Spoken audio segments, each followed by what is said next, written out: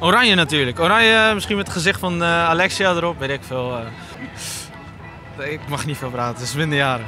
Hoi, ik ben Marvin en ik sta hier vandaag voor Again and Again Fashion, een circulair kledingmerk. Zij maken kleding dat 100% uit gerecycled materiaal bestaat. En vandaag ga ik mensen laten kennismaken met circulaire kleding.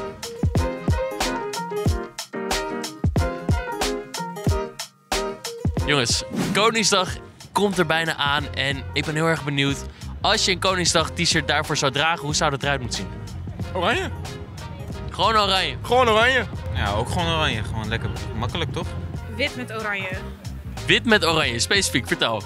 Ja, gewoon koningsspelen toch? Koningsdag is altijd oranje. Misschien een beetje goud erbij.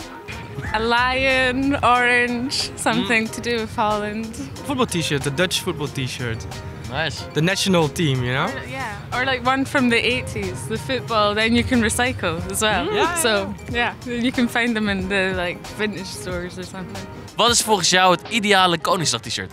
Ik denk uh, het iconische oranje. En uh, natuurlijk dat de straten vol liggen met mensen die spullen verkopen. Ja, uh, veel wat heeft dat te maken met je t-shirt?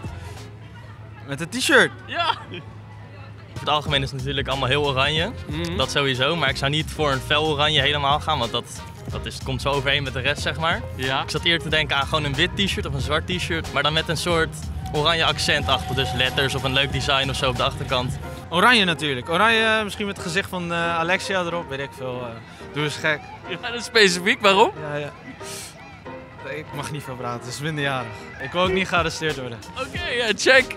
Ik ben dan ook wel benieuwd, um, als je dat Koningsdag t-shirt dan aan hebt, zou je hem daarna nog dragen? Als in na Koningsdag, kan je hem dan nog dragen? Nee, nou, dan loop je mooi voor lul met zo'n oranje shirtje aan. Nee, die ik nu heb, die doe ik eigenlijk niet anders dan... Ja, op voetbal moet uh, een keer goed doen, maar uh, voor de rest alleen maar met Koningsdag. Maar waarom dan niet? Ja, hij is zo oranje, man. Dan, dan val je helemaal op hier in de stad. Zelden, maar volgens mij...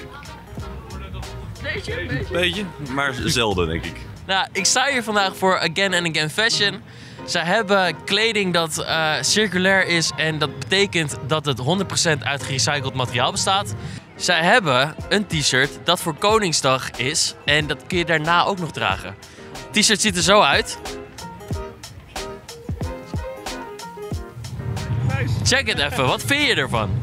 Want het idee is dus dat je dit ook nog na Koningsdag kan uh, aandoen. Oh, dit is wel nice man. Ja, deze zou ik ook wel gewoon na Koningsdag. Uh, weet je, deze niet, valt niet zo uh, op. Ja, ik vind hem wel mooi. Hij is wel mooier. Mooier? Ja, is mooi. Ja? Ja.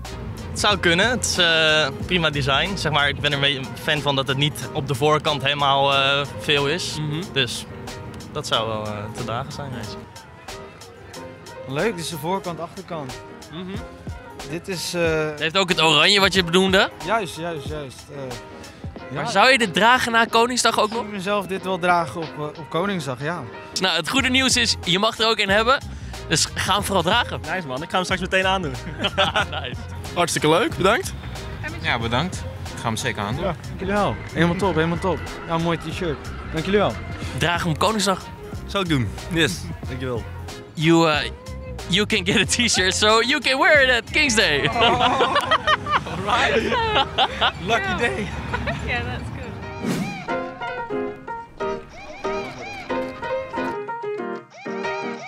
Ik heb verschillende mensen gevraagd naar hun mening over de t-shirts. Ik ben ook benieuwd naar jouw mening. Laat het even weten in de comments.